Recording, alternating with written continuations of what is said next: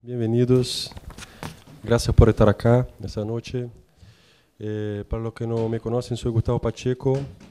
Eh, yo soy el organizador de la, de la obra Agua Fuerte Cariocas y el compilador y también tuve el honor de escribir el prólogo y también tuve el honor de traducir la obra en portugués.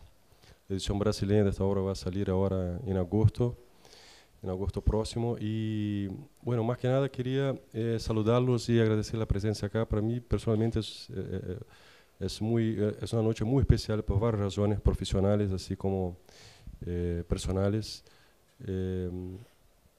y tener la presencia acá de personas muy queridas y compartir la mesa con Martín Cohen, que es un escritor y crítico a quien admiro muchísimo y que hoy lo tengo encima como, como un amigo, que es un, un gran honor.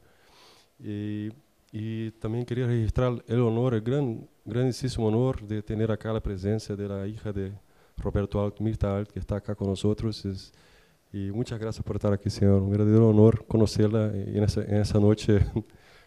Para mí muy emotiva porque me estoy yendo de Argentina también, después de vivir acá tres años. Para que lo, los que no me conocen, soy agregado cultural de la Embajada de Brasil acá. Entonces, esta noche también para mí tiene un, un sabor, un olor a, a, a, despedida en altísimo estilo. Y bueno, bueno, soy agregado cultural de embajada, pero eh, por supuesto que voy a hacer mis colocaciones en carácter eh, estrictamente personal.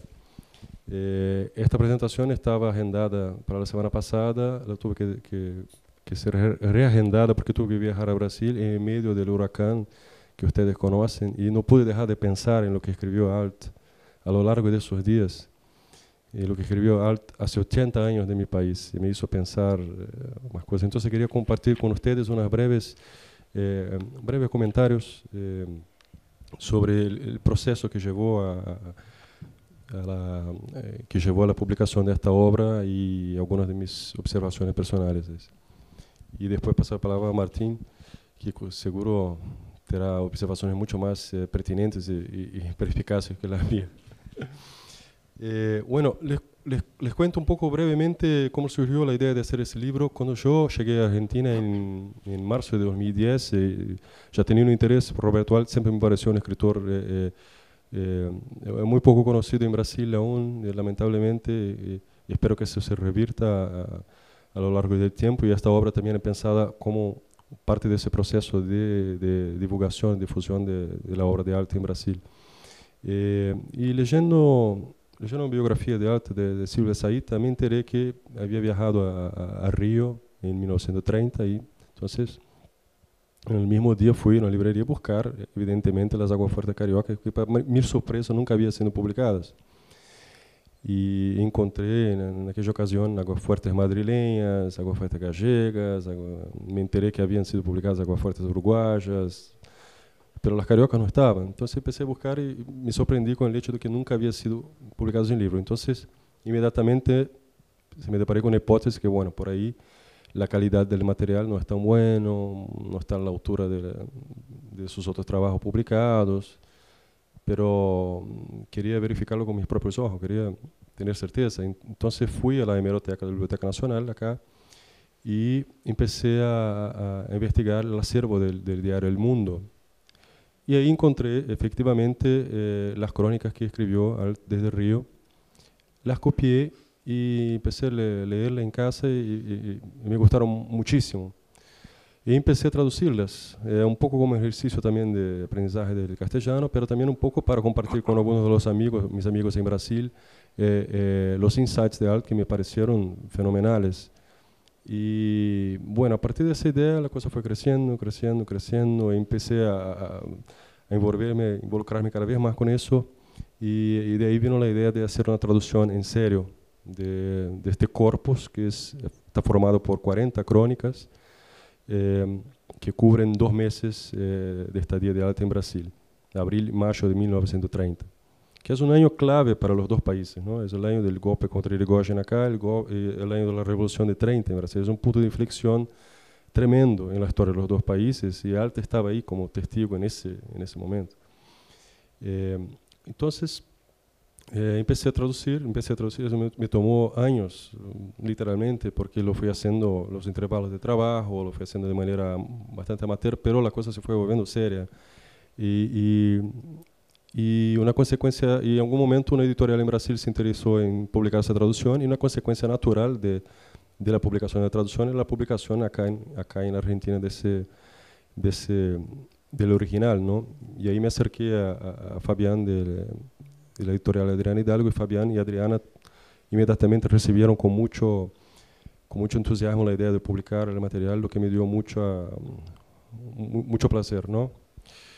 Entonces, eh, la hipótesis, como les decía, la hipótesis original de que la calidad del material no era, no era tan buena, para mí personalmente no, no se confirmó. Espero que ustedes después de leer el libro también eh, estén de acuerdo conmigo.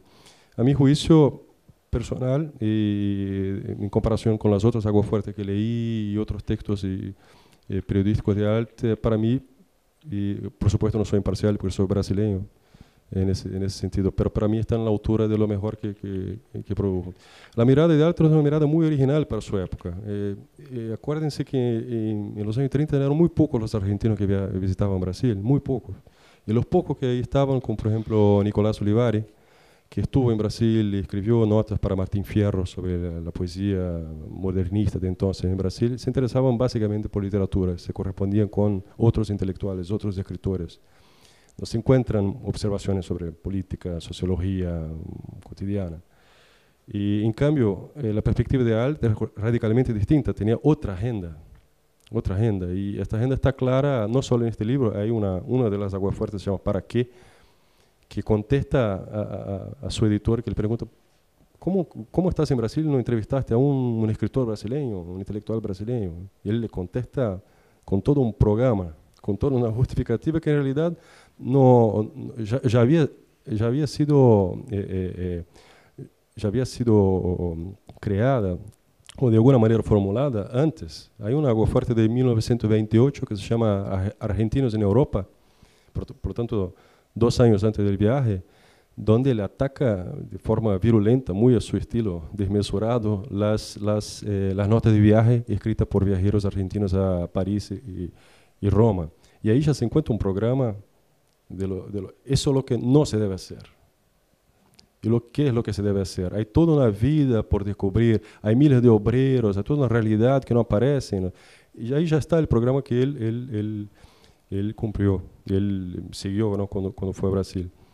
Eh, y junto con, con, esta agenda distinta que mi conocimiento, yo no conozco ningún otro, otro cronista eh, viajero extranjero, argentino, jamás, pero ni hablar, pero ningún, ningún otro cronista extranjero de esta época. Los cronistas extranjeros que estuvieron en Brasil, que yo tengo conocimiento, son básicamente intelectuales, artistas, escritores.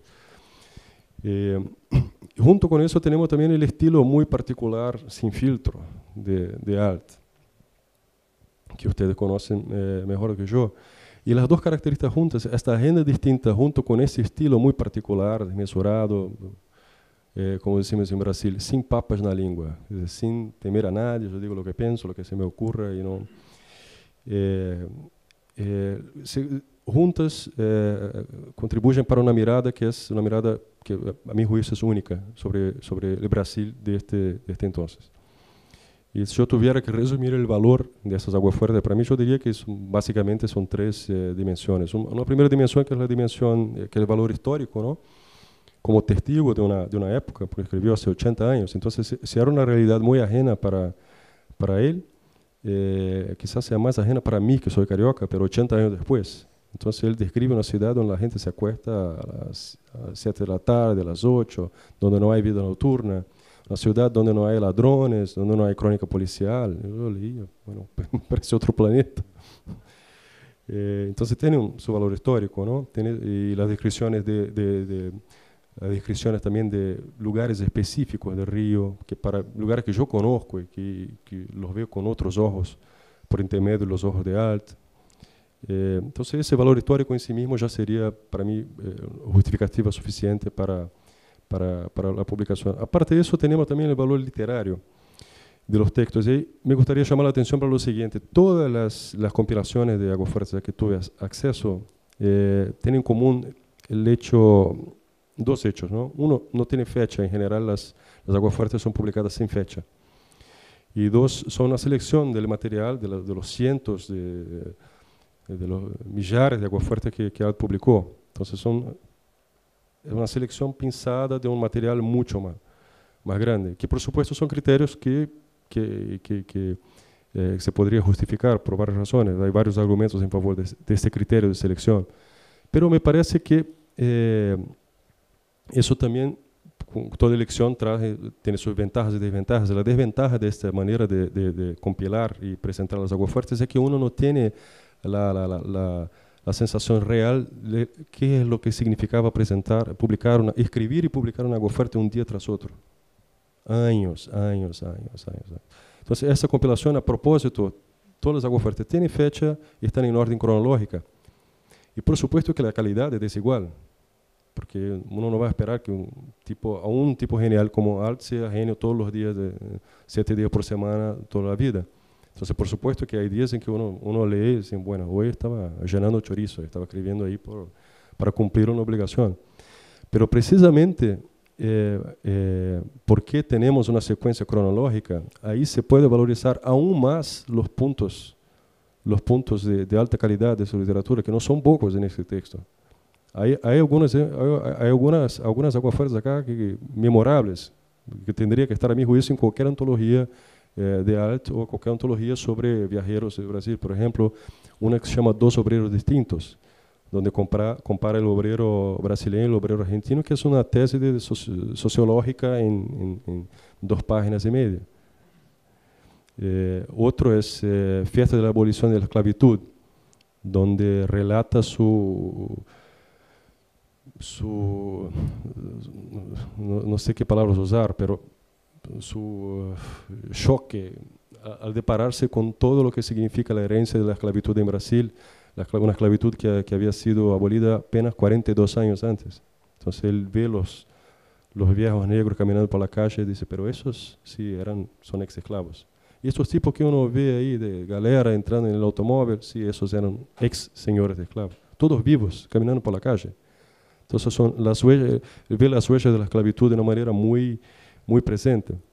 Eh, entonces, eh, al ponerlo todos juntos, lo que tiene más calidad, lo que tiene menos calidad, desde mi punto de vista, uno lo valoriza aún más eh, la capacidad de, de, mantener un nivel extremadamente alto, día tras día, año tras año. Y eso me parece también que, es, que es algo, no sé, una, un, un, elemento nuevo aportado por, por esta compilación. Y por fin, eh, el tercer elemento sería el, el, valor propiamente sociológico de sus análisis. Análisis eh, que no son hechas, por supuesto, por un, por un científico, no quieren ser hechas por un científico, no es, no es esa la idea, pero que no por eso tienen menos fuerza o menos pregnancia o pueden forzarnos a, a, a pensar, o más que, hasta incluso más que eso, molestarnos, dejarnos incómodos, brasileños y argentinos igual, por razones distintas, pero estoy seguro que muchos brasileños van a sentir, van a, sentirse ahí como, si alguien estuviera pinchando el hígado, y argentinos también, porque eh, su retrato muy crudo de Brasil tiene un contrapunto eh, eh, muy claro y un retrato muy crudo de Argentina también. No, el, mundo cambió mucho en los, en los 80 eh, años desde que él escribió, pero eh, los logros, eh, no obstante los logros económicos institucionales de Brasil, los avances, todo, la verdad es que aún hay muchas asignaturas pendientes.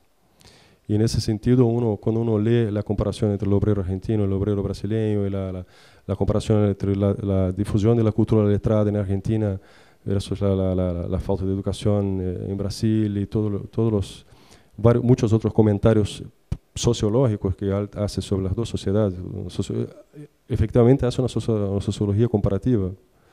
Eh, eh, no puedo dejar de pensar en un momento como ese, que quizás esté, estemos ahí 80 años después viendo el, el, el, o, el, o no sé, el, eh, algo está cambiando. Y algo está cambiando no solo en la economía, en la política, algo que está cambiando en la manera de ser de la gente. Y quizás toda la, la, la cordialidad eh, que al, eh, supo ver, supo ver en sus dos aspectos, ¿no? su aspecto de qué, qué, qué, educada esta gente, qué gentil esta gente contra eh, la grosería de los porteños. Eso, eso es, un, es, un, lado. El otro lado es, es eh, esta cordialidad oculta mucho. Oculta tanto cuanto revela, ¿no? oculta las grietas de la civilización brasileña y todos sus problemas, las huellas de la esclavitud, entre otras.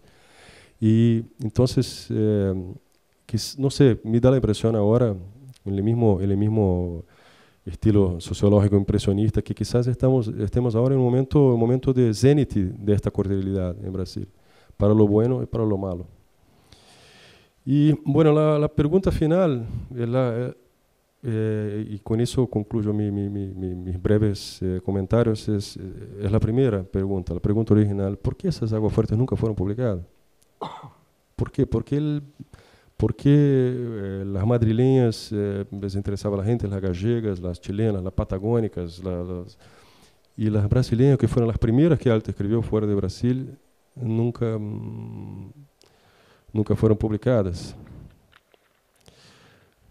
Es una, hay muchas hipótesis, hay muchas razones para decir, pero creo que, así, de, no sé, eso termino como provocación también, porque me gustaría escuchar a ustedes también y, y preguntas y comentarios de Martín sobre todo, eh, que eso refleja también un cambio en las relaciones entre Brasil y Argentina, en la importancia relativa que los dos países se, se dan. ¿no?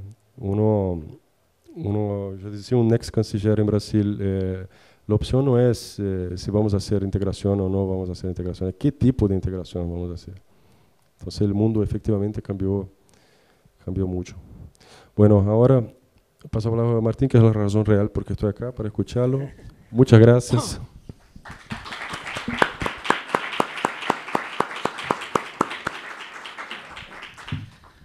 Bueno, buenas noches. Agradezco muchísimo la, la, invitación a presentar el libro. Voy a leer un breve texto que titulé Aguafuertes de un porteño. Habría que decir que son estas las cariocas, las verdaderas aguafuertes porteñas de Roberto Arlt. Porque aquellas otras, las que llevan razonablemente ese título, tantas veces editadas y reeditadas a lo largo de los años, son las que se nutren de la realidad de Buenos Aires, las que registran personajes porteños, las que traman historias porteñas en la frecuencia impar del día a día.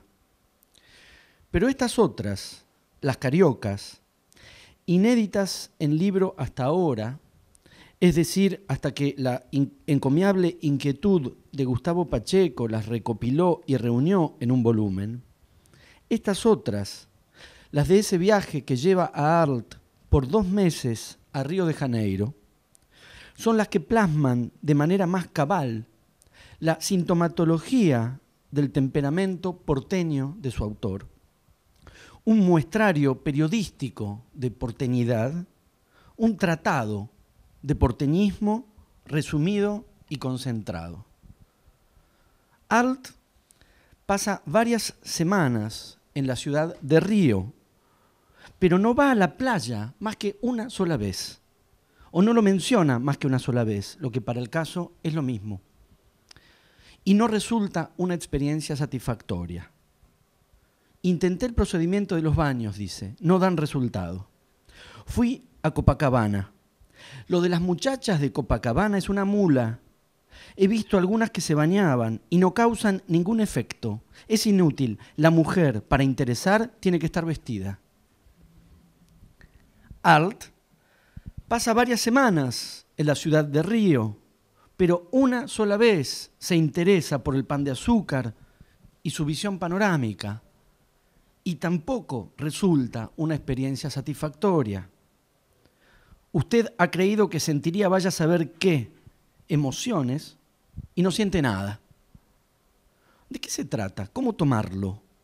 Se trata de la lucidez de un viajero singular que, inmune a los estereotipos, no va detrás de los lugares comunes que recomiendan la arena, las olas, las garotas, los paisajes. O se trata, a decir verdad, de un destino de desencuentro entre el cronista visitante y la ciudad visitada. ¿Va acaso Roberto Arlt a descubrir otra Río de Janeiro que no es la de las postales? ¿O va a perderse y desconcertarse en un sitio que se le escurre? Arlt encuentra que Río de Janeiro es triste. Le faltan flores, le faltan jardines. Tan luego de Río dictamina sin matices, nada de verde. Nada y nada absolutamente de verde. Precisó llegar hasta ahí para saber que no le sienta el calor o para saber que hace calor. La temperatura aquí, dice, agota al hombre del sur. Renuncia por principio al aprecio del paisaje, porque el paisaje de por sí no le parece un motivo de aprecio. Dice, el paisaje me revienta. No miro las montañas ni por broma. ¿Qué hacemos con la montaña? ¿Describirla? Montañas hay en todas partes. Los países no valen por sus montañas. ¿Qué dirá entonces de Río de Janeiro este viajero y periodista que no gusta de paisajes, se desentiende del mar, padece el calor y no ve nada de verde en su entorno? Tal es la proeza literaria de las aguafuertes cariocas. Decenas de cronistas, atinados y curiosos, podrían ofrecer u ofrecieron retratos deslumbrantes de Río de Janeiro, versiones fidedignas de la ciudad maravillosa. En cambio, esta crónica lunfarda de la ilusión y la desilusión tan solo podía escribirla Art. No hay nada como la descolocación de Art para entender el lugar de Art. Nada revela mejor su lugar que ese fuera de lugar que condensan estos días y estas páginas. Y no hay semblanza mejor de lo que es y de lo que implica un viaje. Porque aquel que cuando viaja se siente como en su casa, bien podría haberse quedado en su casa. El viajero cabal se incomoda, no se halla, no se habitúa, no se relaja, no armoniza, no se asimila, no se adapta, no se entrega. La perspectiva del viaje, su primer viaje fuera de la Argentina a los 29 o 30 años de edad, entusiasma a Roberto Arlt. Los sueños de Arlt, ya que no su vida, son siempre los del confort pequeño burgués. A eso hay que agregar, y es también algo típicamente altriano, ese aire de revancha que embarga al que accede a un mundo que en principio lo excluía, a esos bienes y placeres que no le estaban destinados. Yo a bordo. El reo viaja a Brasil, el turro dio el batacazo. Dice, ¿no es una papa y una lotería? Saraca, Victoria. Alt hace suyas las palabras de la dicha de aquel tango que cantaba Gardel. El viaje al exterior lo exalta, pero más que eso, lo exalta saber que es el laburo de escriba lo que lo habilita para el periplo. Fuera de eso, destinado a bacanes de mejor laya. Me rajo, empieza diciendo Art, me rajo indefectiblemente. No se trata, sin embargo, de la concreción en agua fuerte del célebre Rajat Turrito Rajá que consagró en la novela. Rajarse aquí es más bien rajarse de los que fueron mis tiempos turros, aunque a la vez va a llevarlos consigo al viaje. Los lleva porque lleva una lengua, una historia, un estilo, un instinto. Los lleva porque, junto con el traje decente, lleva otro hecho pedazos, con un par de alpargatas y una gorra desencuadernada.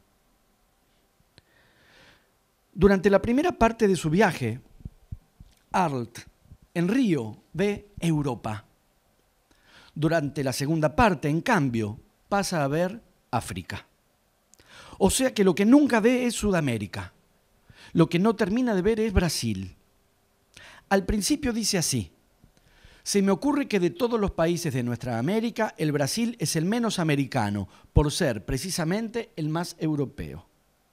Pero más adelante dirá, camino, no sé si estoy en África o en América.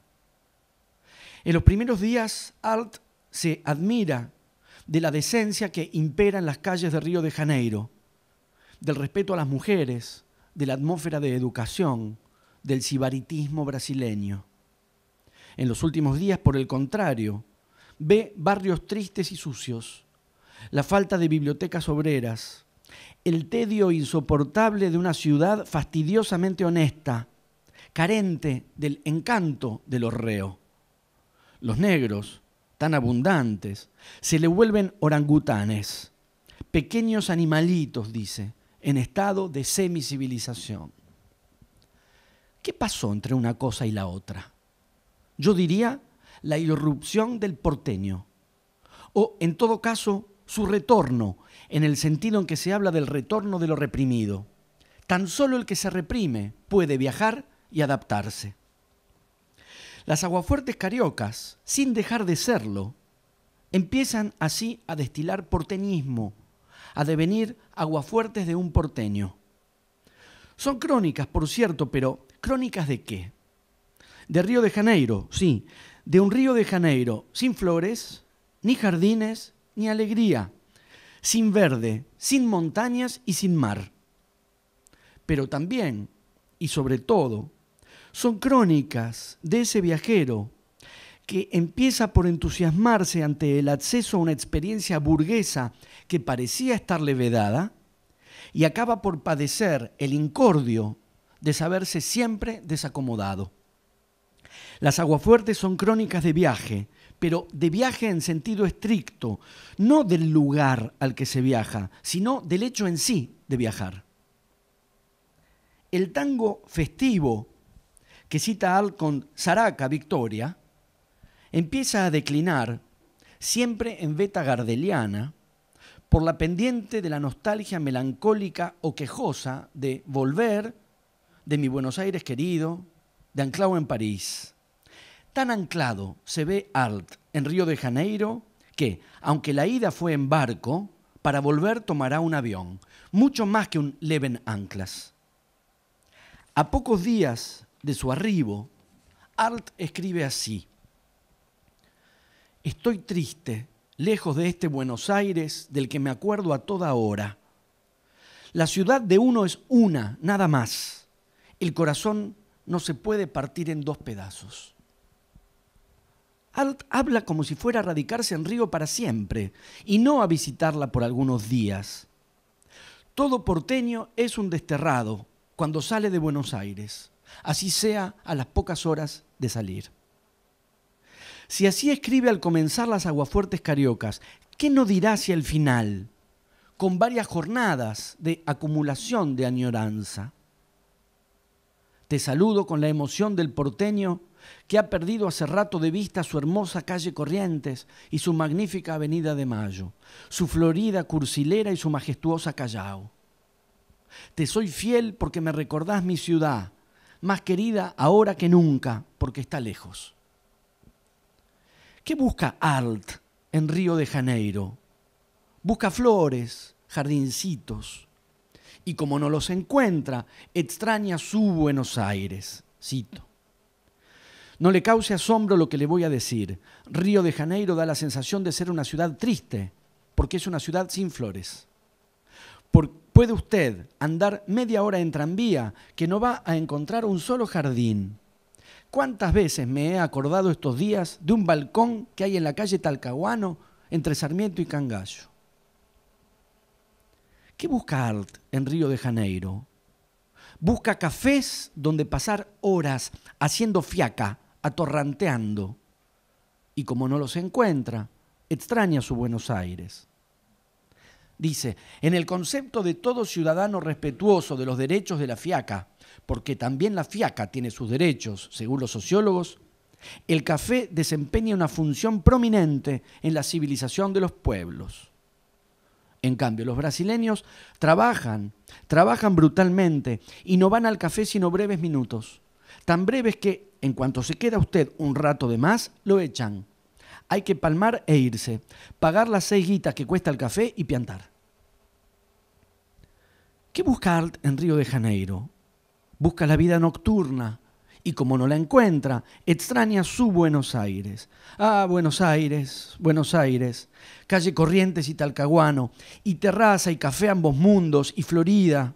Ah, Buenos Aires, allí uno se esgunfia, es cierto, pero se esgunfia despierto hasta las 3 de la mañana. ¿A dónde va acá en Río a las 11 de la noche? ¿A dónde? Minga de café, minga de nada. Se acuesta porque no hay nada que hacer en la rúa. Pero quieren decirme qué es lo que puede hacer un porteño en la cama a las 11 de la noche. Alt sentencia la verdad definitiva de lo que es viajar y ser viajero. Estar en tierra extraña es estar completamente solo. ¿Qué otra cosa sino eso es vivir una extrañeza? Y el que viaja y no se siente extraño, entonces, ¿para qué viaja? El viaje que Alt emprende como cronista para el diario. Se convierte así en diario de viaje, pero en el sentido del género íntimo, el espacio de un desahogo personal.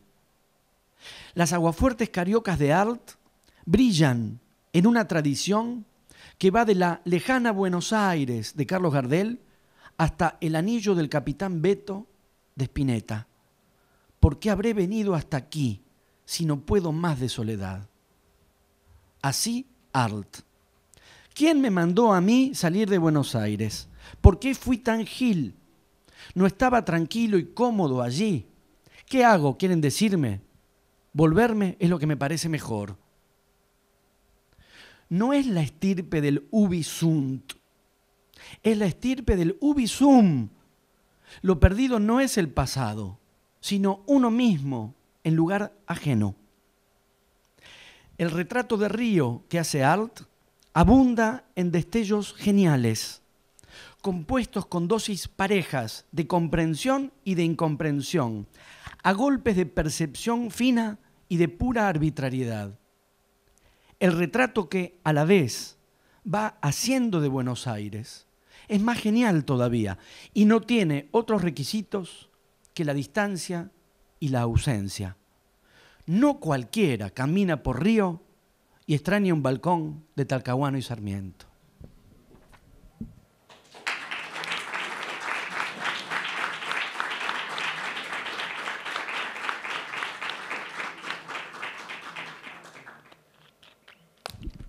Muchas gracias, Martín. Muchas gracias. Eh, bueno, espero que les haya dado ganas de leer los que aún no leyeron. Y no sé si quieren hacer alguna, alguna pregunta, algún comentario, alguna observación. Ese es el momento. ¿O no? ¿O quedamos por acá? Si les parece.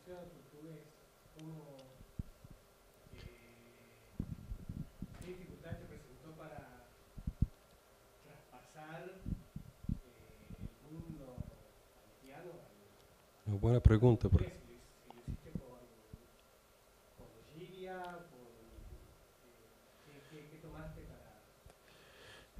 Es una buena pregunta porque es, es, es, es, un, es, un, es un autor dificilísimo de traducir, no solo por el estilo personal, no, pero también por el, el manejo, el uso que tiene de la, muy particular de la lengua. Eh, los brasileños no están al tanto de toda la, la larguísima discusión que ya se, está suplantada acá sobre si Alta escribía mal o no escribía mal, ese tipo de cosas. Si uno traduce tal cual, incluyendo lo que, de acuerdo con la norma culta del castellano, son entre comillas, errores, eh, hay un riesgo de que empiece a pegar el traductor, por supuesto, como tipo... Entonces, pero al mismo tiempo no puede sacrificar el estilo, sería traicionar lo, lo, lo, más intraicionable, ¿no? Porque para traducirlo en un estilo genérico o edulcorado, mejor no traducirlo. Y, lo mismo con, la, con, la, con el lunfardo, porque hay, una primera, una primera opción sería traducir el lunfardo de, de, la época brasileña para, que, para dar el, sabor. Pero me pareció que eso alejaría más que acercaría alta a los lectores contemporáneos. Entonces elegí una, una cierta medida intermedia. ¿no? nada que sonara muy arcaico ni tampoco muy contemporáneo, lo que siempre es difícil, poner una fecha y una, y una, y una, y una expresión eh, específica en un fardo, ¿no? que para mí es viejo, pero no sé, para mí, mi, yo consultaba a mi viejo y decía, no, no, cuando yo era, cuando yo era chico nadie, nadie usaba esa palabra, entonces alt no, nunca, nunca podría haber utilizado si fuera brasileño. Entonces, no sé, estoy seguro que me van a pegar en algún momento por la traducción. estoy seguro. Pero estoy muy contento también, estoy con la conciencia tranquila también de, de, haber hecho mejor, porque fueron, fue, fue mucho, mucho, invertí mucho tiempo ahí intentando buscar la palabra, la palabra justa, ¿no? Y, y, eso me obligó a tomar libertades que, que otros traductores de arte no tomaron. Libertades ahí semánticas. Eh, mi preocupación fue mucho más a la fidelidad, no, no, no a, lo que dice la palabra de arte, pero lo que hace la palabra de arte. Eso es lo, eso es lo que intenté hacer, reflejar eso, ¿no? la eficacia más que la literalidad.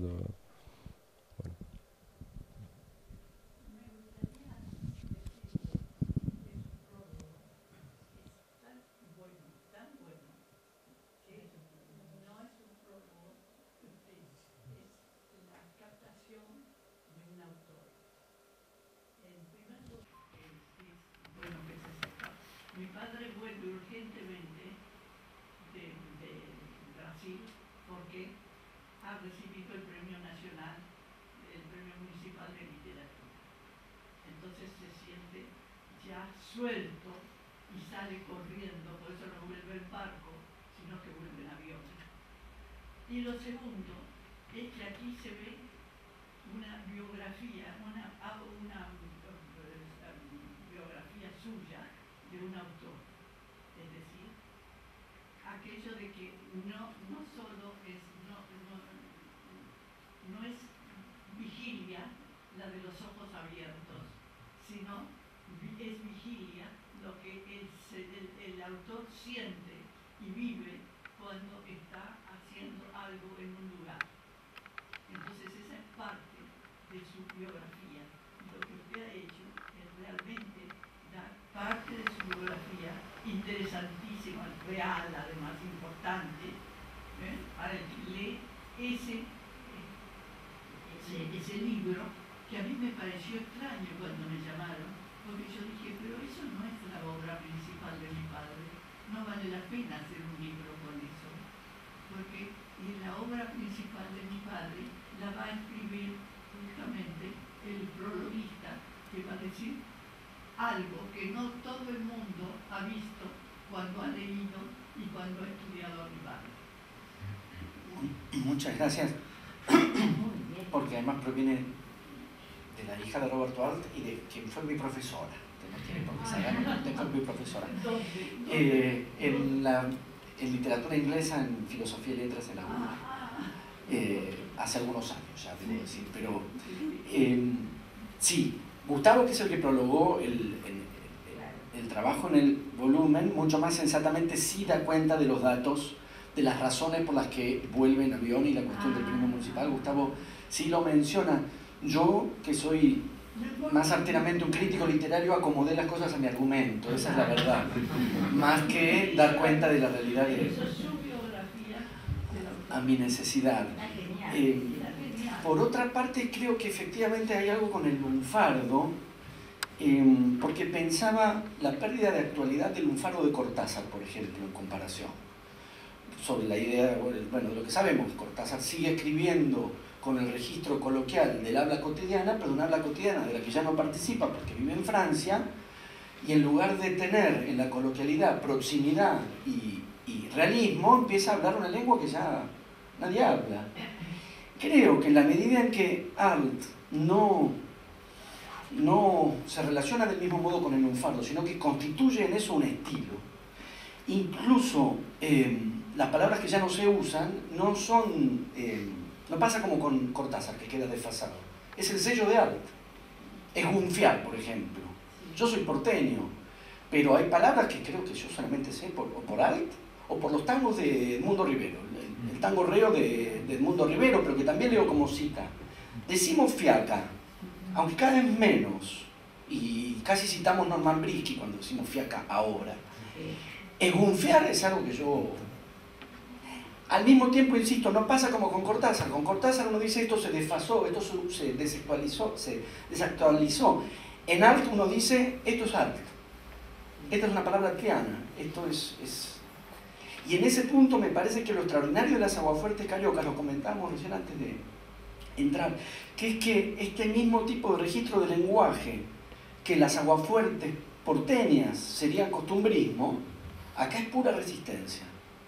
Este acá es un gesto netamente literario. Es él, es un sujeto que, que, ofrece resistencia con el lenguaje. O sea que es un gesto completamente... Es un artificio, al revés de lo que pasa en las ofertas porteñas, donde en vez de ser artificio, al contrario, es realismo. No hay, no hay nada más realista en las aguafuertes porteñas que el lunfardo. Es lo mismo que cuando lo mandan a hacer una crónica del partido de fútbol. Cierto. ¿Qué hace? Ve la gente en lugar de ver el fútbol. Pero ¿qué hace? ¿Qué, es a él en un partido de fútbol? ¿Qué hace ese ser humano en un partido de fútbol? ¿Qué puede hacer un ser humano en un partido de fútbol? ¿Qué es? O lo que hace él es irse, irse espiritualmente o realmente participar del juego que me parece que es ese momento de verdad tan descomunal que tienen las ofertas cariocas, que ese momento, que no es un momento, son muchos momentos, que dice, ¿qué hago yo acá? ¿Qué pasa con el partido también? ¿Qué hago yo acá? Frente a la tradición del viajero ubicuo, eh, en estado de permanente adaptación, eh, y que en un punto da una versión donde falta justamente esto que en arte está de un modo tan potente. El tema del avión hizo, bueno, hay, otro hecho ahí que es la línea aérea recién se había inaugurado, la línea de la LIRBA. Cuando vino ART no existía, no, funcionaba tan regularmente.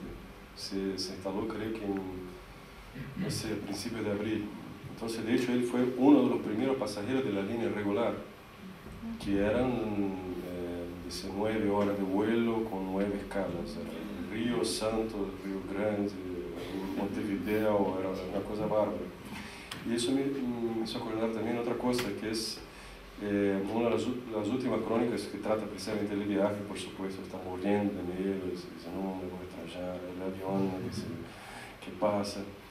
Y una cosa que me llama la atención, siempre me llamó la atención, y bueno, muchos, eh, muchos críticos también llaman la atención, el, el, el carácter profético los escritos de arte, que tienen esa capacidad que pocos autores tienen de condensar, a veces hasta de manera inconsciente, todo un espíritu, todo un espíritu de época y una presencia que suena, eh, en algún momento te, hace, te da escalofríos.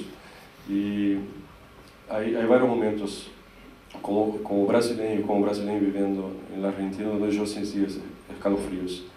Eh, uno de esos momentos es cuando dice, bueno, está cierto, cuando comenta con un amigo que dice, bueno, en Brasil nadie lee, no hay bibliotecas, y el amigo le contesta, es cierto, pero un día esos 40 millones, eran 40 millones entonces, van a leer. Van a leer y cuando, y, cuando ese día llegue ya lo saben en América del Norte, vamos a ser gigantes o algo así, una cosa medio... Entonces uno puede leer ahí una, una, una profecía del ascenso del gigante brasileño algo así. Pero hay otros momentos quizás más escalofriantes, y, no sé, ahí ya entro en en un suelo más pantanoso. Pero hablando aún del avión, en un momento él dice lo siguiente, comparando las ventajas y desventajas de ese avión se cae, se cae en el mar o se cae en la tierra, ¿qué es mejor, se cae en el mar o en la tierra? Y decide que, que mejor caer en el mar y dice lo siguiente, seamos francos, si uno revienta ahogado, lo pescan tranquilamente o no lo pescan. Y dicen los periódicos, entre comillas, desapareció y quien desaparece deja siempre en el ánimo de los otros la esperanza de que pueda aparecer. Yo, leí eso y inmediatamente me puso. Y no sé, eso creo que yo llevo demasiados años en Argentina y para leer de manera imparcial una sentencia como esta.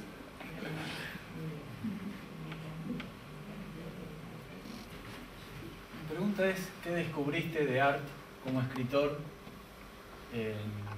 En estas crónicas, en este trabajo que hiciste, antes de haberlo hecho, ¿no?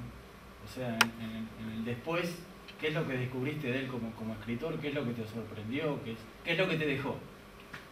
Gracias. Bueno, gracias por tu pregunta porque me, me hizo acordar del comentario que hizo, eh, que recién hizo Martín.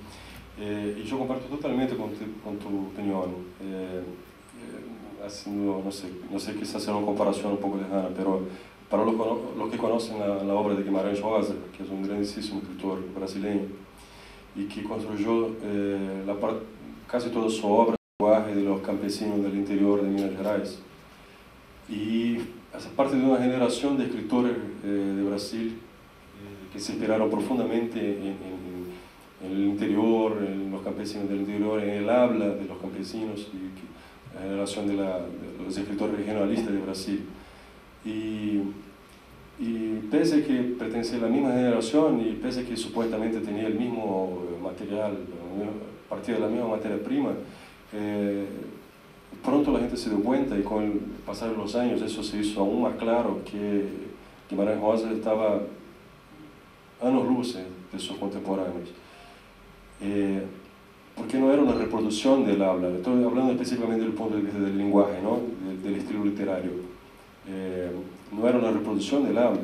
Si bien él hizo, tuvo, viajó mucho, era médico, viajó mucho por el interior de Brasil, entonces escuchó mucho, registraba, eh, pero no era una reproducción, no, era, no, usaba dialecto para dar color local a su texto, eh, como, como, muchos de sus contemporáneos, que por eso envejecieron no tan bien. Quizás haya pasado algo semejante con Cortázar en ese sentido.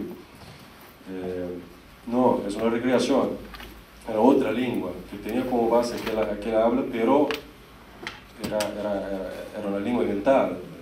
Y con él creo que, que, que, hasta cierto punto pasa, pasa lo mismo. No, no, no utilizaba, la impresión que tengo, no, no utilizaba el lunfardo para, para causar impresión, causar sensación, o para probar, mira cómo yo domino este, este idioma, o, o, como una marca de clase, aunque eso tenga, tenga su marca de clase. Digo, eh, lo, lo hacía de una manera muy particular. Eh, lo hacía de una manera, cuando yo lo comparo con los otros ejemplos que tenía, no, no leí tanto los, los autores contemporáneos, pero sí leí algunas, otras cosas, eh, de, de Astrizon, Fremocho, así. Y para mí están, Alta está años luz de distancia también. Tiene un carácter, una, una, una, una rareza, rareza, rareza en el uso del lunfardo que yo no, que yo no, no encuentro ningún otro, ningún otro uso del lunfardo que yo conozca. ¿no? Que, se, que se refleja en, en, no solo en el uso de los términos, pero también en, en, en la, la, sintaxis, que es una sintaxis por veces tortuosa, que uno, que uno tiene que leer cuatro o cinco veces para, para, para, para, entender lo que quiere decir, pero que es parte de, de, de, de su estilo, ¿no? de, ocultar para decir también, no sé. Entonces, en ese sentido, eh, eh, con la, teniendo que, que leer palabra por palabra y pensar, reflejar cómo traducir cada palabra por palabra, me hizo también atentar para, para, para esa dimensión del lenguaje, de algo que hasta entonces no, no, no, estaba, no estaba clara para mí. ¿no? Eh, en, en, Alt, yo, lo que me llamaba la atención de Alt siempre, desde el inicio, en el primer momento, fue, fue el tema más que el lenguaje.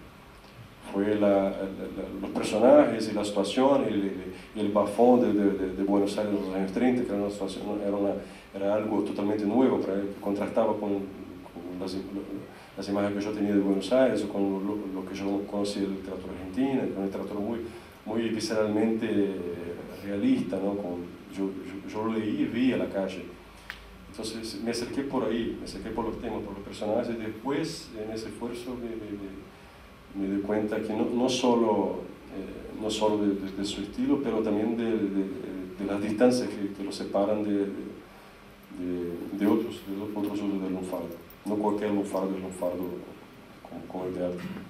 Y me dio un trabajo desgraciado, porque a veces buscaba 10 diccionarios y, y, no encontraba, no es el significado de una palabra, porque por ahí preguntaba a la dueña de mi, mi departamento, que tiene sus ochenta y tantos años, ¿qué quiere decir una jauja? Ah, bueno, la jauja cuando yo era chica. Se utilizaba no solo diccionario, pero también la gente más grande, ¿sí? Pero no es solo eso, hay, hay muchos sentidos no diccionarizados. Totalmente no era, no era dialecto, era idiolecto, ese es el punto.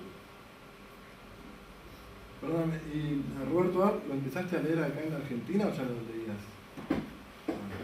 Leí alguna cosa en traducción, pero eh, otro escritor, otro escritor en traducción y, y acá. Eh, Parte de mi, mi, mi, mi gana de traducir también viene de, de, de, de, ahí, ¿no? De, hacer una traducción con opciones un poco distintas de las traducciones que ya habían sido hechas en Brasil. Pero yo leí fundamentalmente más acá que allá, dos otras cosas. ¿no? Hay, hay como una suerte de tradición no escrita que es como que tiene que haber un cronista que le dé el carácter de metrópoli a la ciudad, ¿no? ¿Tú crees que, y esto me interesa mucho a nivel como de ciudad y su escritor, ¿tú crees que Roberto Arl de alguna manera le da legitimidad metropolitana a la Río de entonces, que vuelve ciudad a través de su crónica, que le da este estatuto de ciudad que puede dar un poeta, un autor a Río, o ya había alguien haciendo lo que iba a hacer Arl, o un autor brasileño, o algún otro autor extranjero? Al revés.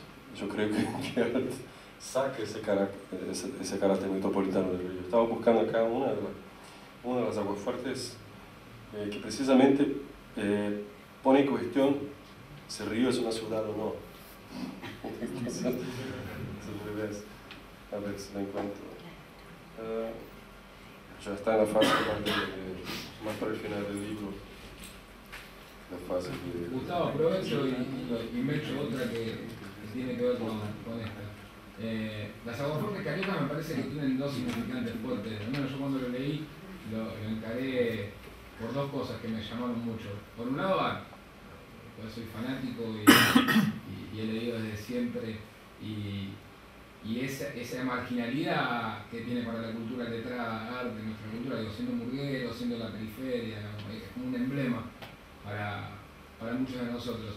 Y por otro lado, la ciudad de Río de Janeiro y Brasil, precisamente.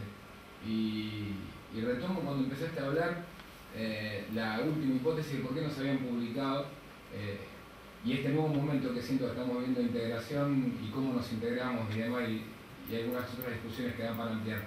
Pero puntualmente, como carioca que sos, eh, la Río que describe Art, ¿por qué Art, siendo un personaje tan cercano a cierta marginalidad y todo, no llega al Estacio, no llega a todo una Río que eh, yo creo que si hubiese sentido maravilloso se hubiese quedado a vivir probablemente Art ahí. ¿Qué, ¿Qué es lo que ves ahí? ¿Cuál es la mediación que hace? Porque si uno conoce Río ahora y se queda con estas impresiones, va a pensar que Río en ese momento era una ciudad completamente distinta del día a la noche. Eh, y había otro Río de Janeiro que ahora no llega. ¿Qué, ¿Qué es lo que pasa que hace que no llegue a ese punto? Ah, Bueno, hay, hay mucho que se puede decir sobre, sobre los, los silencios, ¿no? lo que no se ve. ¿no? Yo creo que parte de la, de la, de la respuesta ya lo ofreció Martín. En cierto sentido, uno, uno, uno ve lo que quiere ver. Entonces, Alt fue allá queriendo ver muchas cosas, consciente e inconscientemente. No sé, todos supongo, supongo compartimos un poco eso.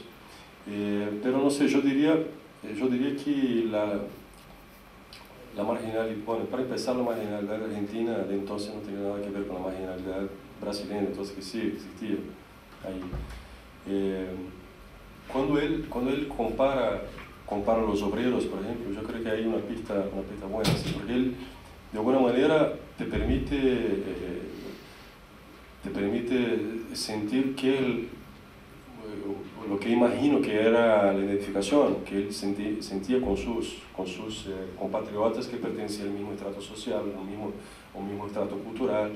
Y el- lo que sería el equivalente de ese estrato en Brasil tiene características tan distintas, raci- raciales, sociológicas, educacionales, culturales, que, no sé, sería eh, radicalmente otro. No puedo pensar en nada más, más ajeno que eso. Incluso cuando se va a África, las aguas, la- la- no, leí, no leí todo, pero leí alguna, alguna cosa que escribió en Marruecos y no, no suena tan...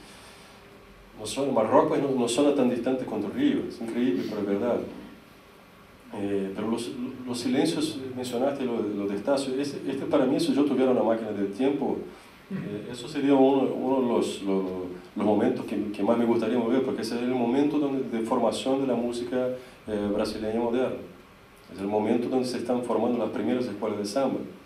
El momento donde se está gestando todo lo que sería la canción popular brasileña, donde estamos vivos eh, genios Noel Rosa, que falleció a los 27 años, que es un, uno de los más grandes poetas de, de Brasil y, y muchos otros, los fundadores de todas las grandes escuelas de samba. Cartola estaba ahí, Ismael Silva estaba ahí, entonces es una época dorada, una época de oro. Y, sé, bueno, llegó dos meses después del carnaval, por ahí agarró también un momento, un momento de resaca. Si hubiera llegado en febrero, no sé si tenía... Eh, pero eh, volviendo a la pregunta del Ramalhine, encontré acá. Se llama Río de Janeiro en día domingo. Comienza. Busco inútilmente una definición de Río de Janeiro ciudad, porque el río es ciudad, no hay vuelta. Pero una ciudad de provincia, con una triste paz en sus calles muertas por el domingo. Y hay varios comentarios en el mismo sentido. Describe una ciudad que, desde ser la capital de Brasil, entonces una ciudad eh, donde la gente vivía en, un ritmo bastante más despacio, bastante más, como poner una segunda, salir de Buenos Aires en quinta y bajar una, esa es la impresión que tengo. Eh, no, no, no, no, lo siento. Y, y, incluso porque también, ¿qué quiere decir ser una metrópoli? ¿no? ¿Qué es lo que uno identifica como marca distintiva de ser una metrópoli? Entonces él compara uno por uno, ¿no? compara, bueno, acá tenemos diarios que sacan 150 mil ejemplares. ¿Dónde los hay en Brasil? No los hay. Eh, ¿Cuántos teatros tenemos en Buenos Aires? Bueno, en Flores hay tres, en qué sé yo, y empieza no, ya ni, ni, ni, sé cuántos teatros acá. En Río hay, hay dos y uno está cerrado. Y, y, por ahí va. ¿no? Entonces, eh, no, solo, no solo no era la ciudad en sí misma, empieza a tener, ya, ya tenía una población expresiva, que entonces era un país muy rural, muy rural.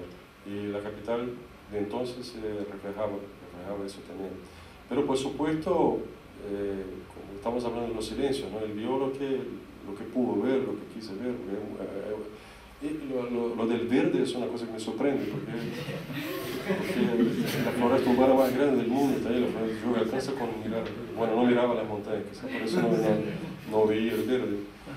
Eh, pero no, lo que, lo que, lo que sigue me, me, me, lo que sigue me, me, me, tocando más después de, de, años ahí lidiando con el material sigue siendo la, la, la fuerza de sus insights eh, específicamente, específicamente eh, sociológicos sobre Brasil. Cuando hablo de la cordialidad brasileña, eh, se podría desarrollar ahí una, una larguísima y compleja teoría sobre la relación entre eh, grosería y rudeza como parámetros para medir la igualdad, la desigualdad de, de, de, un país. No por nada los brasileños son cordiales o tienen fama de cordial. Bueno, muchos intelectuales brasileños ya escribieron sobre eso. Sérgio Buarque de Holanda escribió el concepto del hombre cordial.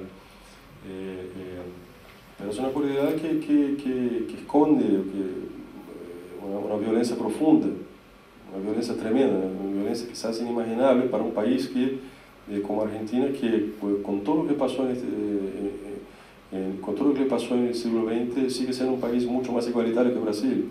Y no estoy hablando solo en términos objetivos, en términos del índice de Gini, que sigue siendo mejor que en Brasil. estoy hablando también de una concepción de cómo una sociedad ve a sí mismo. Y por supuesto uno puede discutir hasta qué punto esta imagen corresponde o no a la realidad, pero la verdad es que eh, Argentina piensa a sí misma de una manera muy distinta que Brasil piensa a sí mismo, como un país fundamentalmente igualitario. Uno puede discutir, bueno, ya fue más igualitario, será más igualitario, está volviendo a ser igualitario, pero ese, e, ese punto de vista no se, no, no se plantea en Brasil. Brasil ve a sí mismo como un país eh, muy, desigual, muy desigual, que lo es cada vez más. Pero y eso tiene que ver un poco con la cordialidad, la grosería. Porque la cordialidad en una sociedad donde, donde la gente depende mucho una de las otras, donde uno depende mucho del favor, mucho más que acá, donde la gente, donde uno nunca sabe cuando está metiéndose con gente que no, no se puede meter, la cordialidad es una manera de defenderse también. Y, y yo veo la grosería también, eh, la grosería tal como lo describió de manera bastante, eh, con, la misma, con la misma falta de, de, de con el mismo mismo sin filtro que usa para hablar de Brasil, usa para hablar de, de argentinos. Es una cosa honesta en ese sentido. Pero que la grosería tiene que ver con eso, ¿no? Con la, la grosería del pequeño funcionario, que bueno, yo tengo un trabajo, yo tengo un trabajo muy humilde, pero a mí nadie me pisa el pocho, me entona Y, pero el pre, ahí otra provocación para el precio de la, el precio de la igualdad, la grosería. No sé, es una pregunta sociología de, para hacer en la mesa del boliche. Si quiere hablar.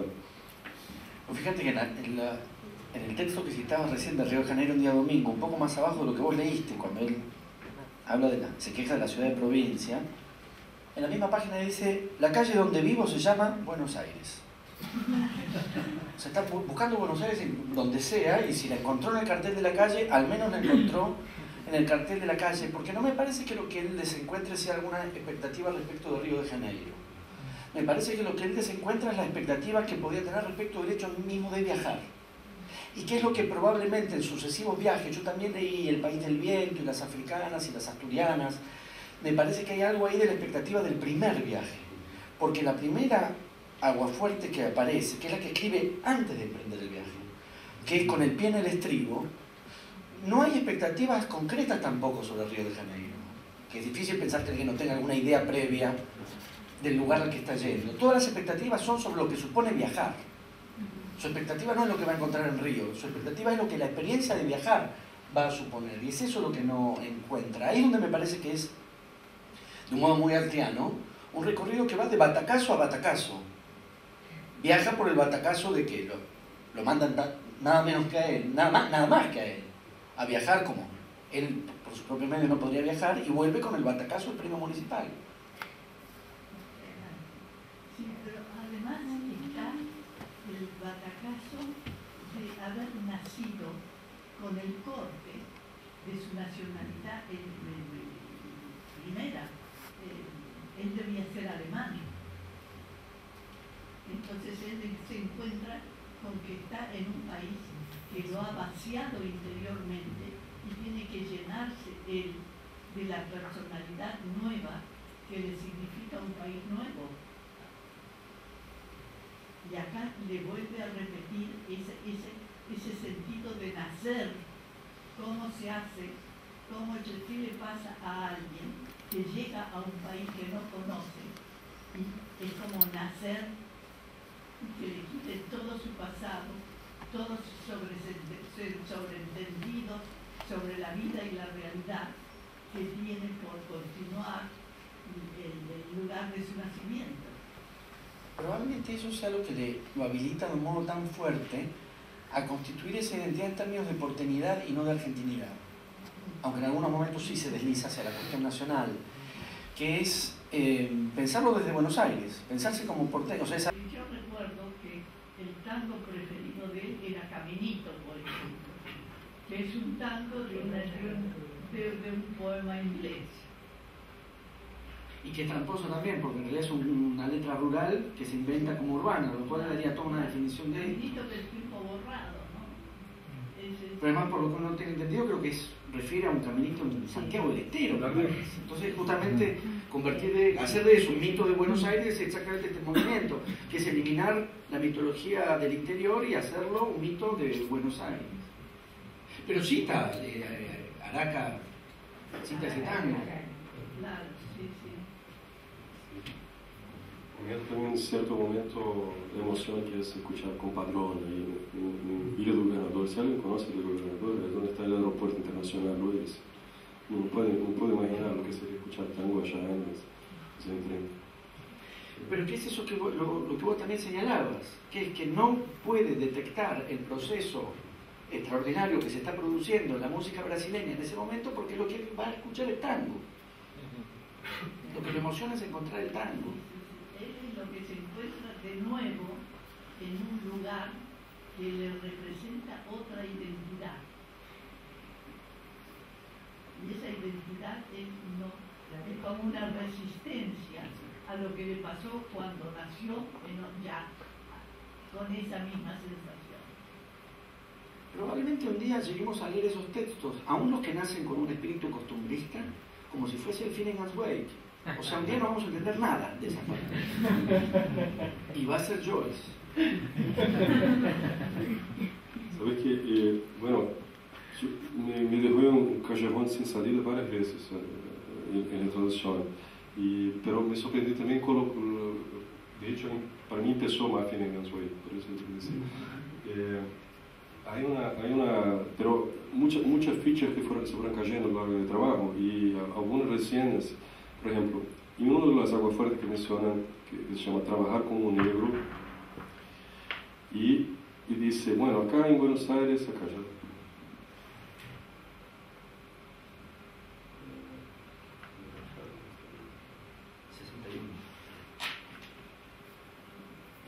Nosotros los porteños decimos trabajar como negro, pero en Buenos Aires los negros no laburan conociendo la ordenanza, que es el trabajo más cómodo que se conoce, que parece exclusivamente inventado para que los grones porteños lo desempeñen en las porterías de todos los ministerios de reparticiones públicas. Eso me pareció una, no sé, una- estaba flasheando ahí, imaginé negros en las puertas de los, ministerios. Y ahí leyendo eh, la revista N hace un mes, me enteré de, una- de una- de un, de un libro, una investigación sobre la dinastía de servientes negros en el Congreso Nacional Argentino, que es algo con la tradición que venía del siglo XIX y que daba de, de padre para hijo, y había generaciones, los esa figura, ese- el, el portero negro del Congreso Nacional, que eso fue hasta mitad del, si- de- del siglo XX, por lo menos se, se puede ver con la tradición. Entonces, algo que de golpe te parece ficción, ciencia ficción y, y no es, es la realidad. Entonces supongo que haya muchas otras eh, fichas por caer en, en nuestro entendimiento. De ahí también vuelvo al valor histórico de, de este trabajo, que inmediatamente me hizo una sinapsis de cómo puede ser, cómo puede ser, nunca había escuchado hablar de eso. Nunca, el país no tiene negros, de, de tiene toda una tradición, una dinastía de, de- de empleados negros en, en el centro del poder máximo del, del país, eso no, no encaja. Una cosita menor sobre, sobre la cuestión del verde, tan intrigante, eh, para ponerlo en relación con, con la obra de Roberto las novelas. No es el verde de la naturaleza. Por ejemplo, cuando Raymond Dossain viaja de Constitución a Temperley, él no ve el verde del camino, él ve el verde de, de la entrada de la casa del astrólogo. Los jardines. los jardines, ese espacio privado, o la típica escena donde eh, Raymond va por el centro y imagina que un millonario lo llama desde la ventana y entra al jardín. Es, es, no es un verde en sentido ecológico, es un verde privado.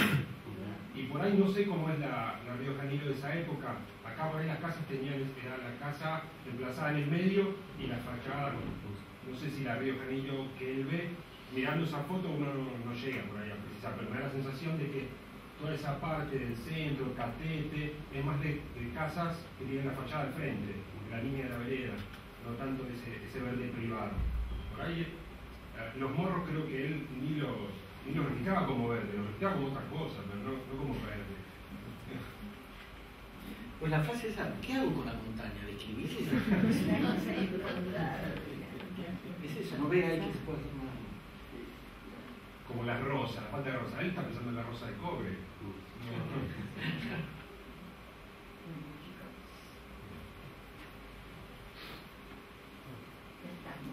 Bueno, ya estamos, les agradezco muchísimo la presencia y bueno, espero que les guste el libro. Muchas gracias.